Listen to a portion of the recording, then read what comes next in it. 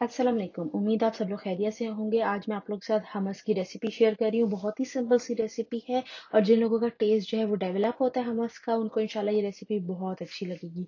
सो हम recipe start करते हैं। रेसिपी के लिए मैंने simple one and half cup जो है वो बॉयल्ड चिक पीस लिए हैं।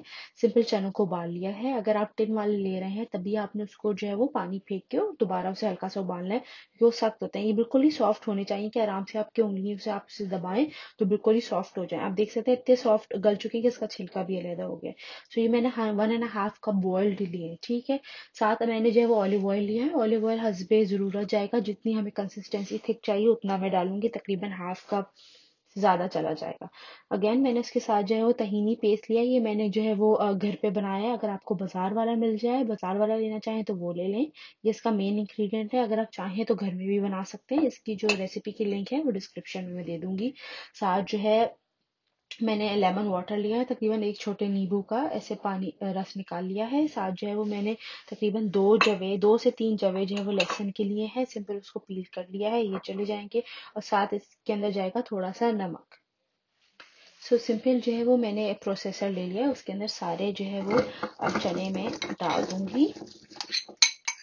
और साथ ही उसके अंदर बाकी के इंग्रेडिएंट भी चले जाएँगे तहीनी चली जाएगी। ये तकरीबन मैंने जो है वो टू टेबल स्पून भर के ली थी। साथ ही उसके अंदर गार्लिक के दो गार्लिक के दो क्लोव एक बचा लेंगे अगर ज़रूरत पड़ेगी तो मैं डाल दूँगी, साथ लेमन जूस चला जाएगा। और साथ ही इसके अंदर नमक।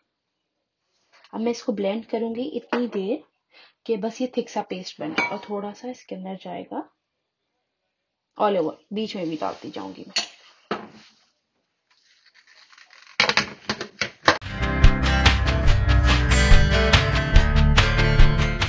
तकरीबन एक दो मिनट तक मैंने जो है उसको ब्लेंड किया है तो ये थोड़ा सा गाढ़ा होना शुरू हो गया। मैं इसके अंदर थोड़ा सा पानी डालूँगी, क्योंकि अगर अगर हम बार बार ऑयल ही डाली जाएँगे तो ऑयल बहुत ज़्यादा जो है वो ऑयली कर ऑयल की वजह से बहुत ज़्यादा ऑयली हो जाएगा। अब मैं इसको तकरीबन तीन से चार मिनट और जो है वो ब्लेंड करूँगी।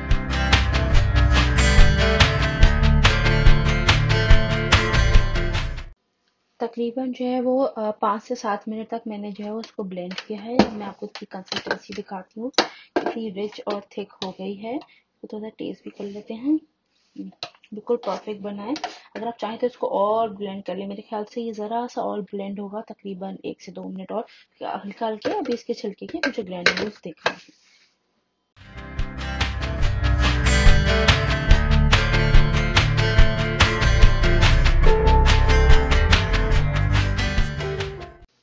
मज़ेदार सा हमस जो है वो तैयार हो चुका है। मैंने इसकी कंसिस्टेंसी बहुत ज़्यादा गाढ़ी नहीं रखी, थोड़ी पतली ही रखी है कि थोड़ी देर में रूम टेम्परेचर पे आके ये थोड़ा सा जो है गाढ़ा होना शुरू हो जाता है स्पेशली अगर आपने फ्रिज में रख दिया तो बहुत जल्दी से ये गाढ़ा होता है।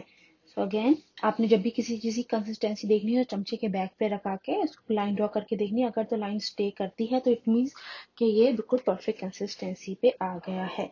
अब हम इसको गार्निश करेंगे सिंपल मैंने जो है वो ऑलिव ऑलिव ऑयल से थोड़ा सा करती हूँ। ऑलिव ऑयल तो इसके अंदर जाता ही जाता है फॉर श्योर तो थोड़ा सा हम ऑलिव ऑयल डाल देंगे और साथ ही इसके बाद मेरे पास ग्रीन ऑलिव है। अगर आपके ब्लैक ऑलिव हो तो वो भी आप इसके ऊपर गार्निश कर सकते हैं। सो ये आज की रेसिपी थी. आई होप आपको ये रेसिपी अच्छी लगी हो. कोई भी आपको रेसिपी चाहिए हो या कुछ पूछना हो तो ज़रूर जो है वो कमेंट कर दें. नीचे लिख दीजिए या मुझे मैसेज कर दें सो मैं आप लोगों के लिए पोस्ट कर दूँगी.